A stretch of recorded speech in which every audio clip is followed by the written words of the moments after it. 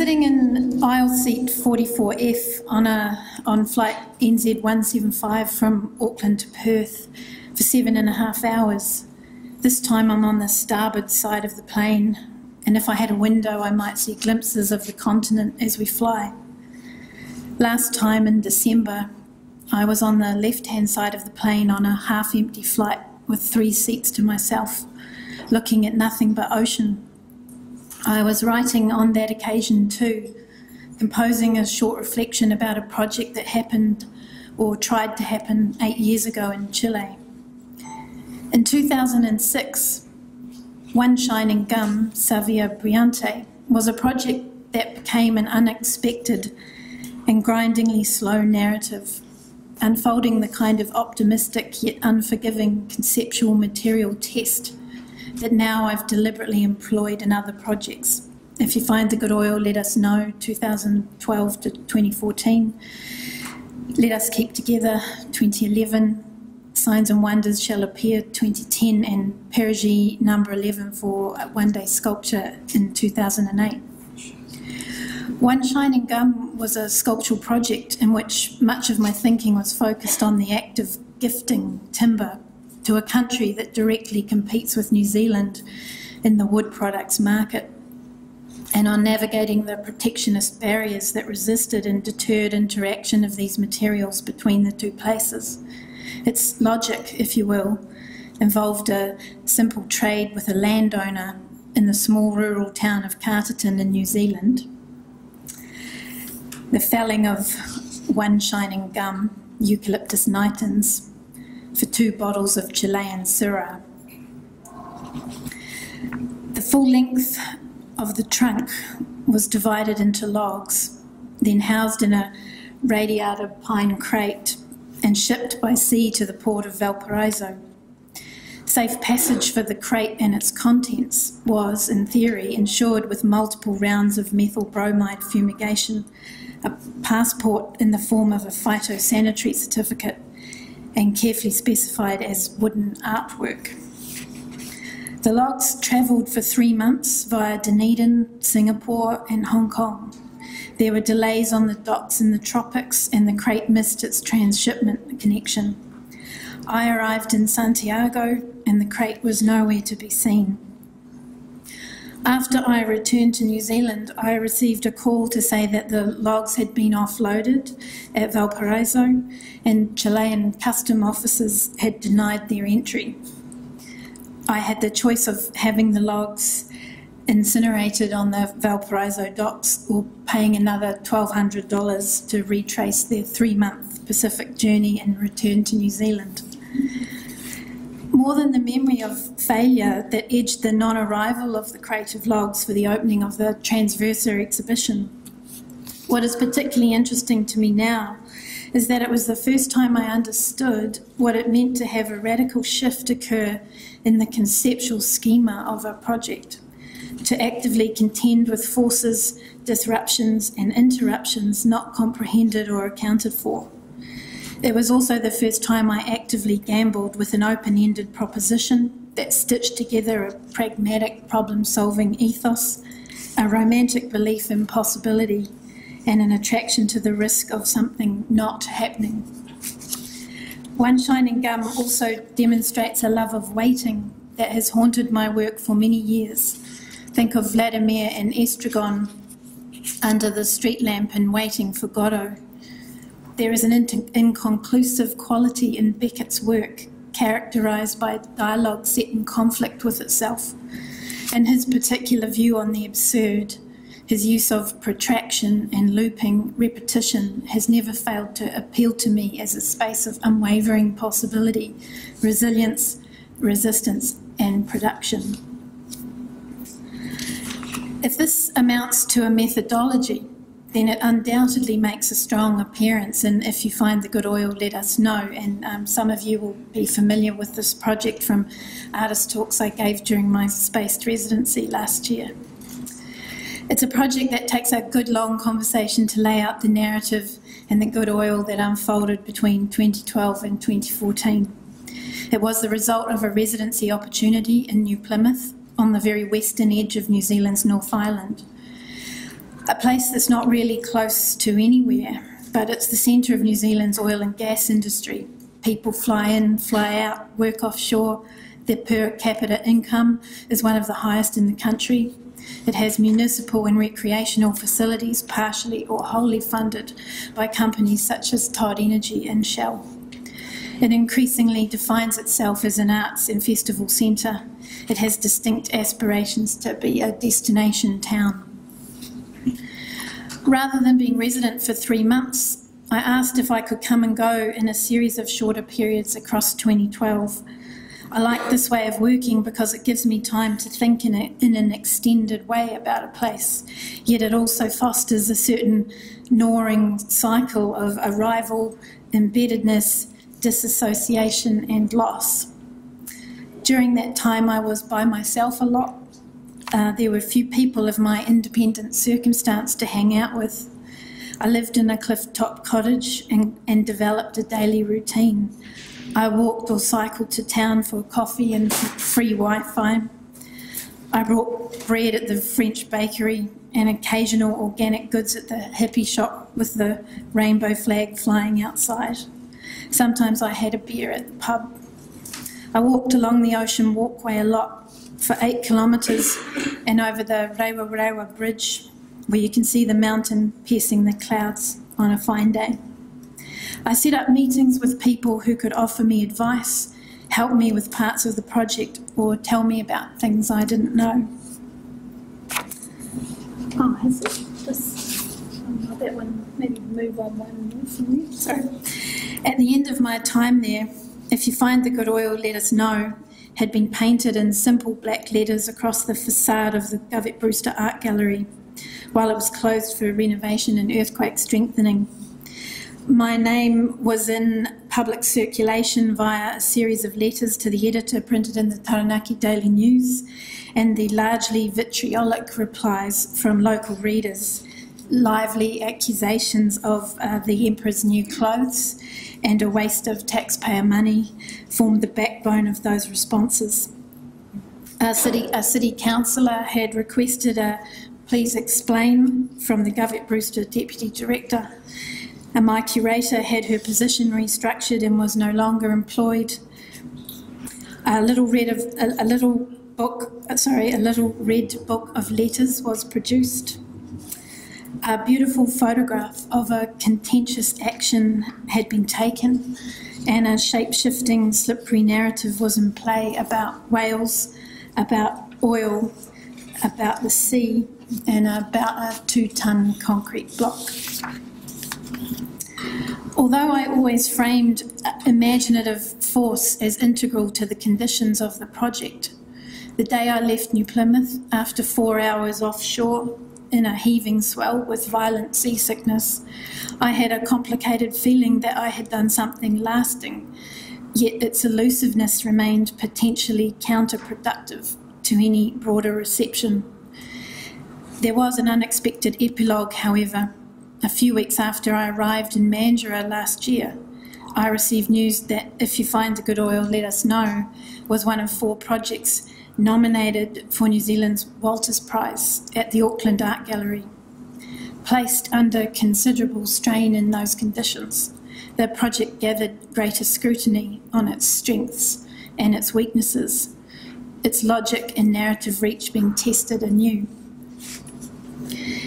It's 5:48 p.m. my time and the flight map has the plane positioned over Tasmania, almost at Launceston to be exact, although Hobart is the only place indicated on the map. It's odd to look up and be unnerved by the prescience of this.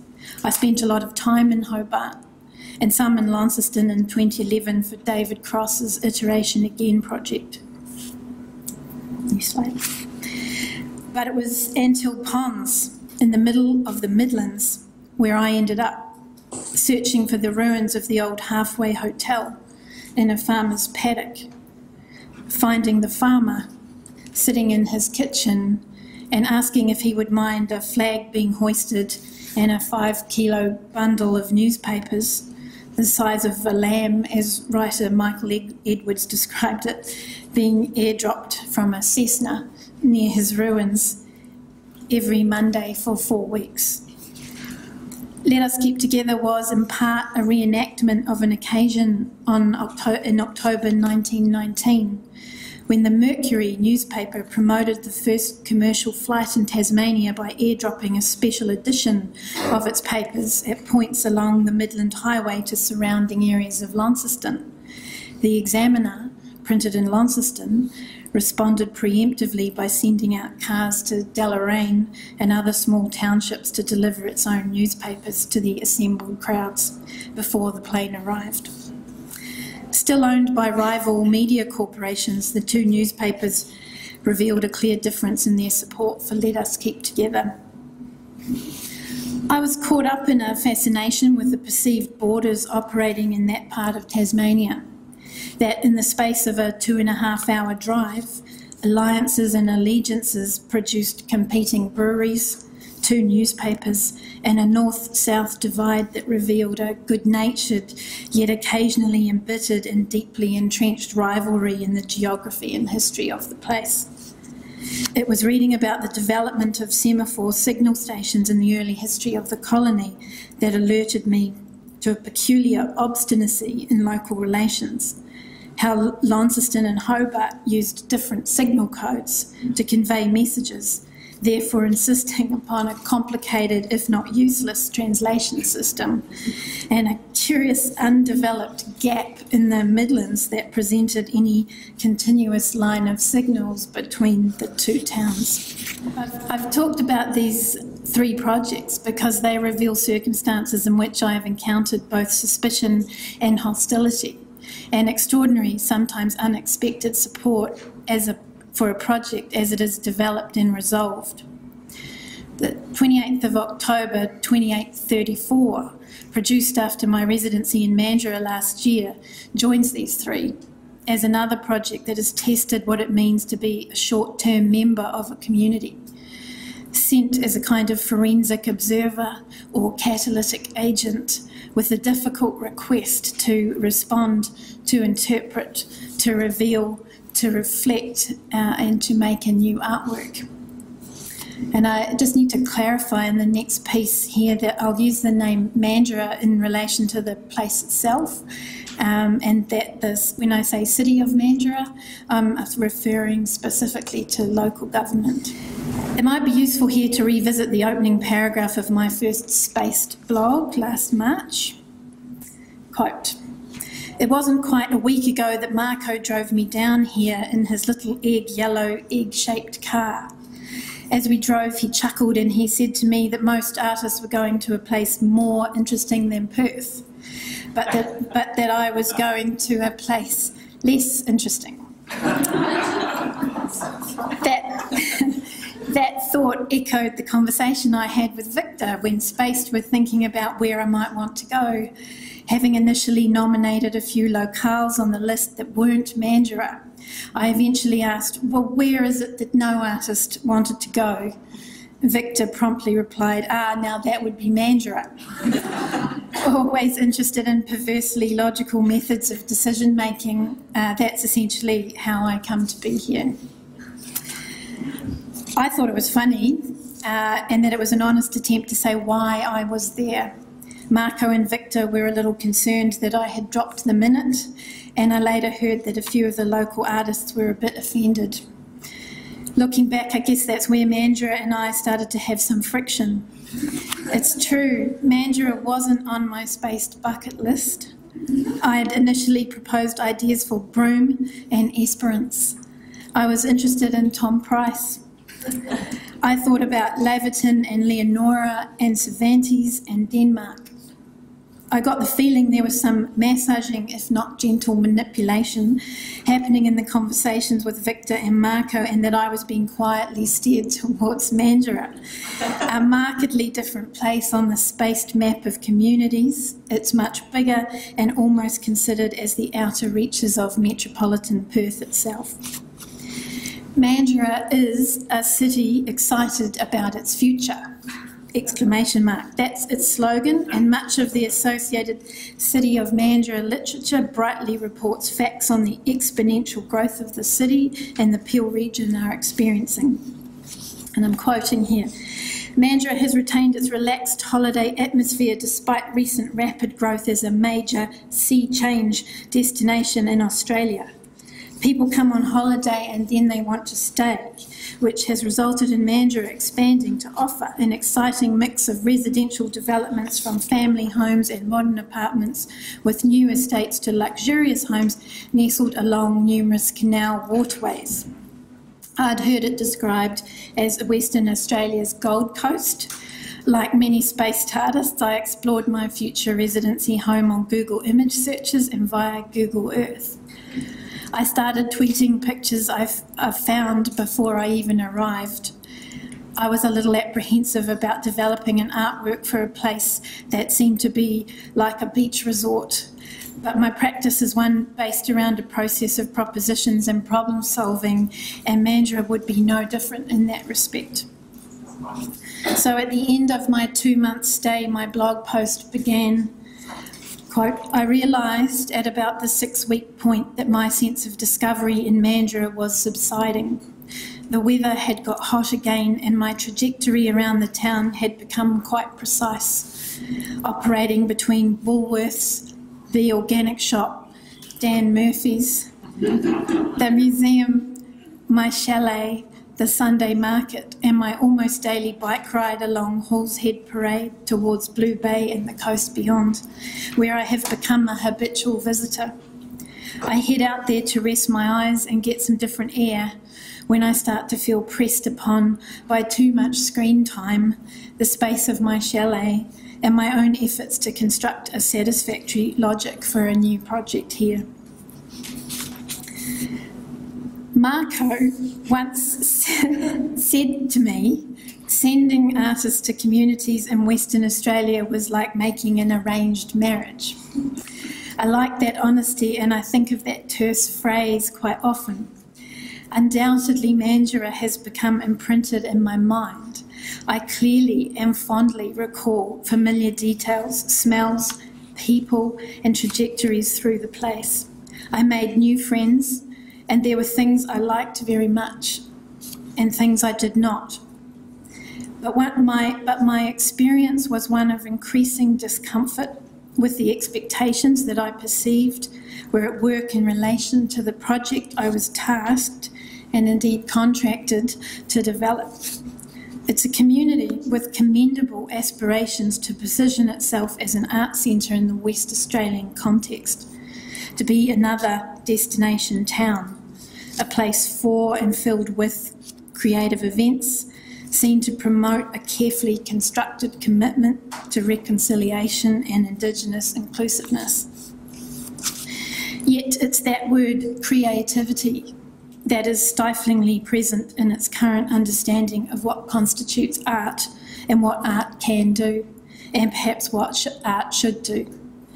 The rhetoric of the city of Mandurah places art as a tool of self expression and fulfilment, a benign part of urban development, and a useful mode of civic entertainment.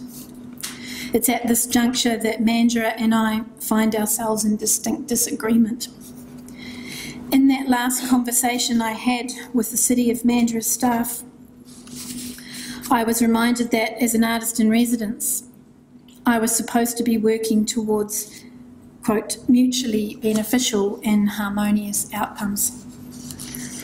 In many ways, I feel the blog posts I wrote form my lasting contribution to Mandurah itself, and they reflect the curiosity and the frustration I had in my experience of the place and its own peculiar tempo and patina. I also strongly maintain that the work I have produced for Spaced 2 Future Recall could not have been developed without having spent an extended period of time in and around Mandurah. I say to friends and colleagues that I got fired by the city of Mandurah. Somewhat melodramatically, I even tweeted that. The City of Mandurah were my hosts, my community partner for the spaced residency, but they recently requested that none of their logos were to be associated with my project. I understand that this is because my conceptual interests crossed the city border to the Shire of Murray, specifically to Pinjarra, a small town about 20 minutes' drive from Mandurah. and more specifically to the Pinjarra massacre site and the contested language operating in the memorialisation and active narratives of that site. I explained that I failed to see why, if I'd been taken on a cultural tour to Pinjarra in my first week, organised by the City of Mandurah, the narratives of that place were suddenly off limits. For Bindjareb Noongar, there is a fluid history of traverse and connection between both places. Workers at the Alcoa refinery live in Mandurah and work in Pinjarra. They cross the Serpentine River Bridge every day. The colonial settlement of Mandurah was, for most of its short life, part of the Shire of Murray. And, and this year, there's the distinct threat, or was the distinct threat, I should say, of amalgam, amalgamation, in which it's likely that Shire of Murray will reluctantly join the City of Mandurah. Quote, it's Shire of Murray business that was the darkly edged phrase that I remember most strongly from that summary conversation with City of Mandurah. I discussed the way I resolved the project with my friend Shannon Te Ao, a New Zealand artist with Australian and Maori lineage. He looked at me and said, Maddie Leach, you're a strident motherfucker. I said, um, I don't know about that, Shannon, uh, but it seemed the right thing to do. Thank you very much.